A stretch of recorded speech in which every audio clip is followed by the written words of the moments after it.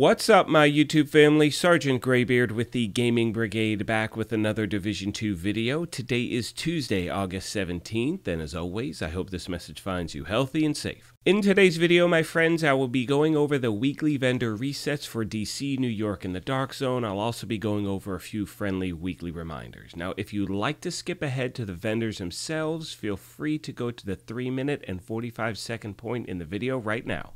Now, if you happen to be new here, first of all, welcome. Secondly, feel free to hit that subscribe button. We would love for you to be a part of our gaming family. And if you enjoyed this or found it helpful at all, take a quick second and hit that like button. It really does help us out. Finally, as most of you know, we have giveaways here, and our current one is for an Xbox Series S, and all you need to do to enter is either subscribe here or follow us on Twitter. Either way is fine. The winner will be announced on October 2nd of this year, and just to clarify, my friends, you do not need to join as a member in order to enter the contest. We do have monthly prizes for membership. However, anyone who subscribes or follows on Twitter is automatically entered into the Xbox giveaway. So, having said that, let's get into today's video.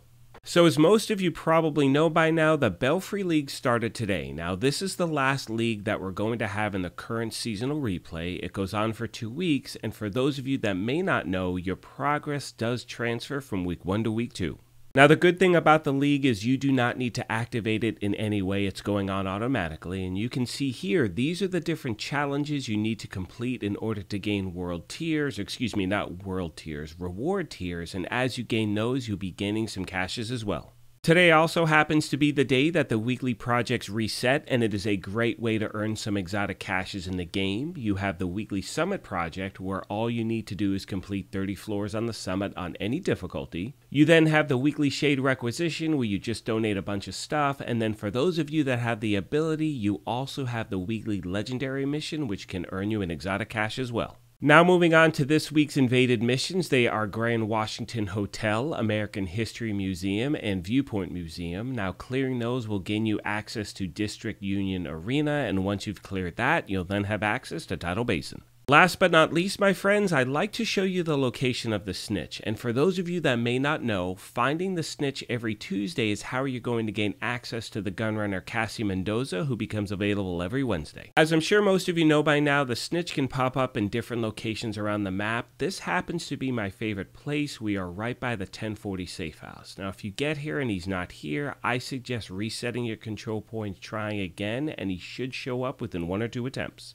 With all that being said, let's now get to the vendors themselves. Now, if you've seen my previous reset videos, you guys know that I kind of rip through these. I strongly recommend, however, taking your time. You don't want to miss out on anything you could be looking for. As always, we are starting off with the main vendor at the White House. We begin with a really nice backpack. Awesome for a skill build. You will re-roll that top attribute to something else, but again, definite must buy if you're looking for something like that. Underneath that, we have an SMG, then we have an AR. Let's see what the handgun is like. Those two are okay.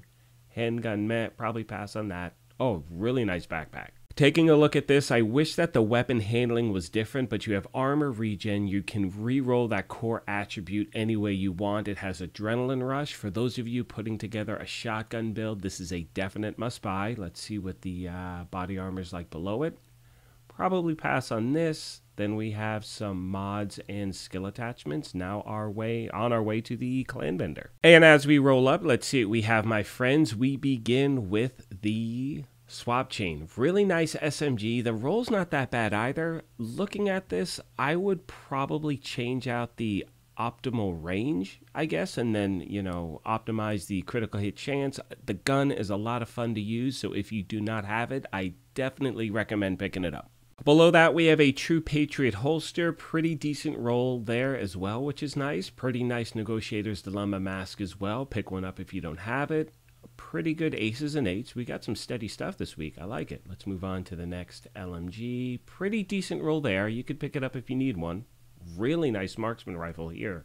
I've actually been trying a few builds with this rifle. It's a lot of fun, to, marksman rifle, but it's a lot of fun to use. Moving on to another backpack, pretty good there. There we go, right here, my friends. Grab these gloves. Man, that's as close to as God rolled as you can get. You're going to re-roll that middle attribute again. This is another definite must-buy. And I mean, wow, we're getting a lot of good stuff this week. Uh, we have a pretty decent SMG there, another nice backpack, but again, you're going to want to get that top one you saw before. Here's another nice body armor, uh, piece of body armor right there, mods and skill attachments. Now let's make our way to the campus. And as we roll up, let's see what we have today, my friends. We are starting off with the Forge named holster. It is a definite must buy without a doubt. I know Cassie had one of these for sale as well this week, but this is something you definitely want to pick up. It is an absolute fantastic piece of gear. Below that, we have a marksman rifle. Pretty okay roll on that. Again, it's your choice. And we have an LMG. Pretty decent. You can re-roll that core attribute if you want. It is a it's a pretty good weapon. Mask here is okay. Same thing with the holster. Then mods and skill attachments. Now let's make our way to the theater.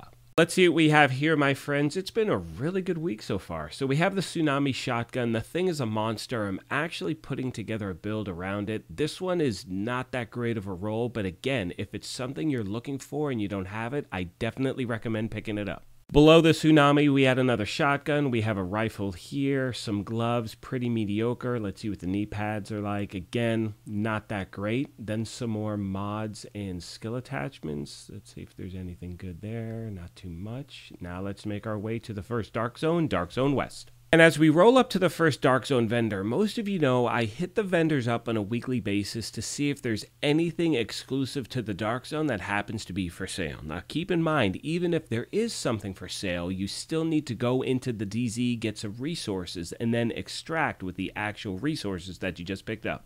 Now, we've had conversations at this channel time and time again. I am under the opinion that if you are going to get these items from the Dark Zone, I think the rolls should be much higher. And again, this is coming from someone who doesn't even play in the DZ, but I really think the rolls should be better at the vendors. Now, making our way to Dark Zone South, didn't see anything really in DZ West that was worth pointing out. And, and again, that kind of goes back to what I was saying is that there should be at least one God rolled item in each Dark Zone vendor, uh, in my opinion, on a weekly basis. It definitely gives you the incentive to go and, you know, do some farming, whereas most people don't really feel like doing that now.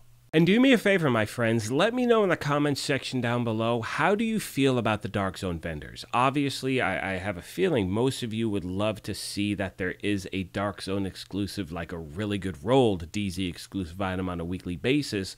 For you, would that make you, you know, inclined to go into the DZ and actually try it out? Anyway, getting back to the vendors, we have the Commando uh, marksman rifle, pretty okay roll there. We had another marksman rifle under that. Now we have an LMG. Let's check out this Foundry mask. Again, pretty mediocre, but you can get that anywhere. True Patriot holster, same kind of thing.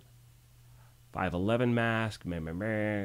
holster, mods and skill attachments. Now let's make our way to the New York, to the New York, to New York and the last two vendors. And as this video starts to wrap up, as always, I want to take a moment and thank you all for your amazing support of this channel. We all know that the game is pretty slow right now, but the fact is you guys are here watching this content, you're part of this family, and it really means the world to me. Most of you know by now that one of my main goals at the channel is to build that toxic free gaming environment where people work together, help each other out. That's exactly what we're creating here. You are a pivotal part of that, obviously. And as always, if you have any questions, comments, feedback, please let me know in the comment section down below. At this point, I'm going to let the rest of the video play out. Obviously, you'll see the final vendor as well, but as always, my friends, if you happen to be new here, feel free to hit that subscribe or join button. If you enjoyed this, you could hit that like button as well. Good morning, puppy.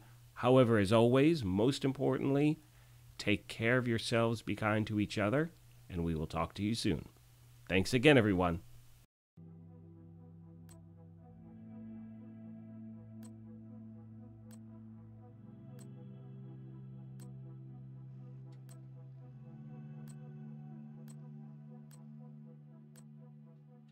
Good working with you.